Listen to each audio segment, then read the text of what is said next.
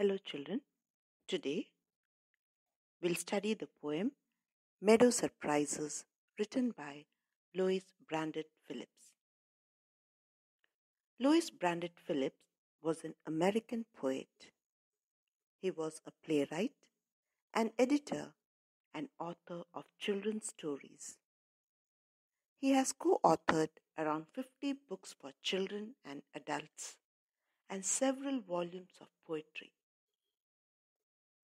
In this poem, he talks about the various surprises which we can find in a meadow. What is a meadow, children? A meadow is a green field. It's an open grassland or a green field. They have many surprises hidden in them. For those who have an eager eye and sharp ears to spot these surprises. If you walk very softly through the soft velvet grass, you can enjoy the music of the stream flowing by. You can also see the butterfly resting upon some flowers and sipping its nectar. You may also find some rabbits hopping around. Meadows also have houses of different animals. You may see a bird's nest or an ant's hill under the tall grass. But all these things are only seen by those people who have keen eyesight or sharp ears. Now, in this poem, there are six stanzas. I will read one stanza and then I will explain it. Again, I will read the next stanza and explain it. So, can we start the poem, children? Meadow Surprises by Louis Brandeis Phillips. Meadows have surprises. You can find them if you look. Walk softly through the velvet grass and listen by the brook. The word meadows means open grassland or open fields. The word velvet means something very soft. The word brook refers to a small stream. So, in this stanza, the poet talks about the various surprises which you can find in a meadow. But to find those surprises, you should have sharp eyes. You should look for those surprises.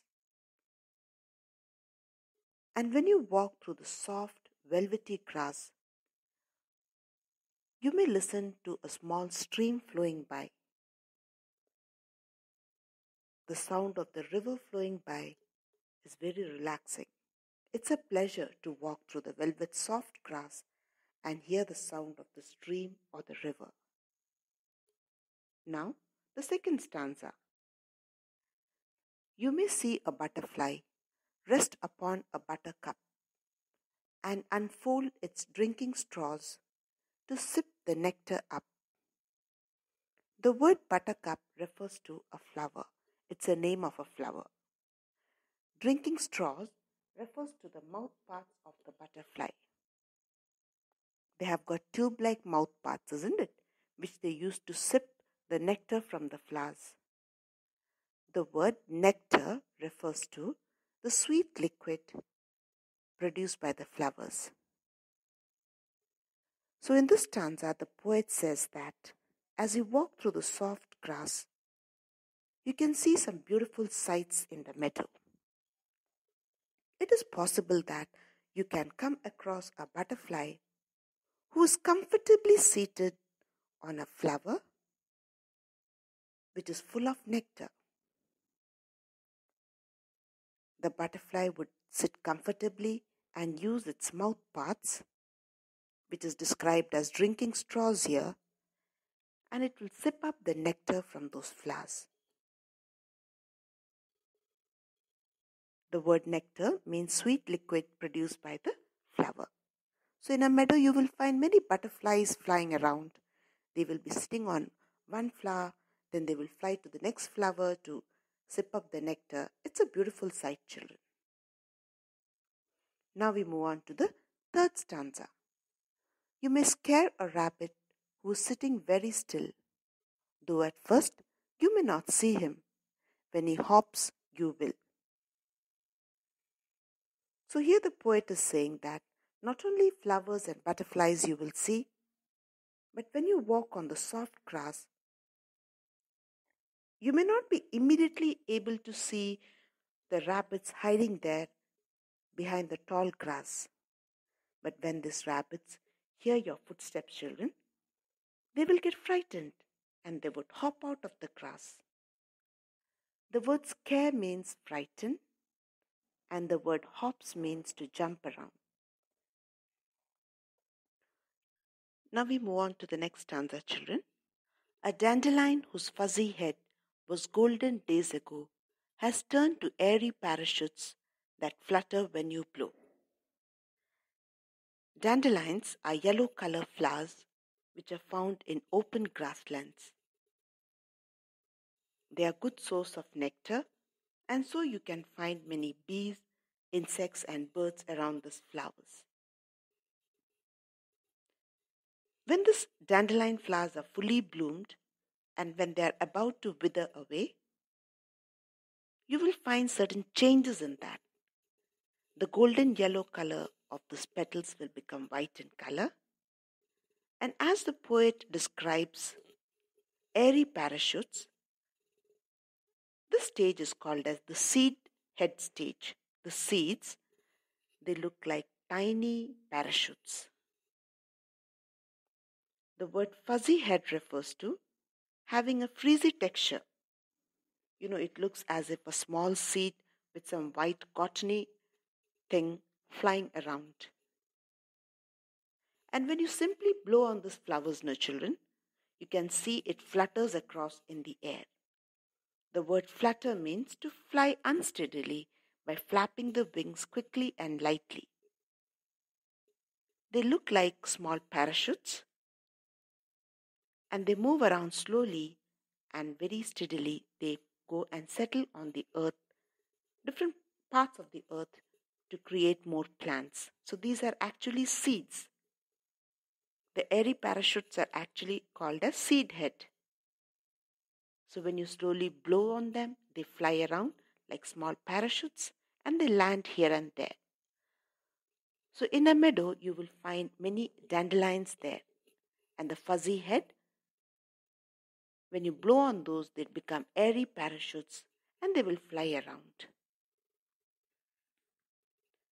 Now we move on to the next stanza.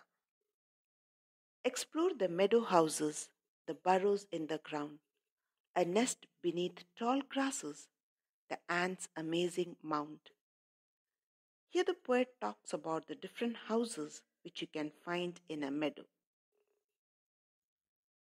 He says that if you look closely,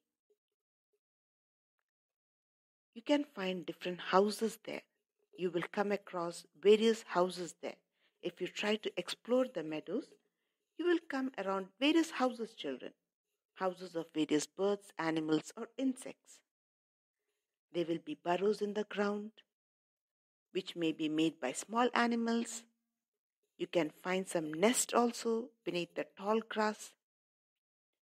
And you may find some mound for the ants also. The word Beneath means under. The word mound means a heap of soil or, or a heap of mud. So if you carefully observe a meadow, you will find houses. You can find ant hills there. You will find burrows, small nest also you can see. Now the last stanza. Oh, meadows have surprises and many things to tell. You may discover these yourself if you look and listen well. Now, here the poet says that the meadows have many surprises. If one is able to pay a little more attention, look and listen carefully, you may find many beautiful surprises in the meadow. What are the different surprises here, children? You can walk on the soft grass. You can listen to the sound of the stream flowing by. You can see the butterfly resting on the flowers and sipping the nectar. You can also find some rabbits hopping around. You can see the airy parachutes of dandelions. And when you explore the meadows carefully, you will find different houses like burrows, nest, or ants' mound. But to, see all these surprises, you need to have a very keen eyes and sharp ears. A keen eyesight is required, and your ears should also be very sharp. Only then you will be able to enjoy nature. Nature is a gift of God, isn't it, children? Merely walking in an open space itself is so relaxing. And when you see these butterflies, flowers, small animals like rabbits, nests of birds, you can really enjoy, isn't it? Now I come to the end of the poem, children. Thank you.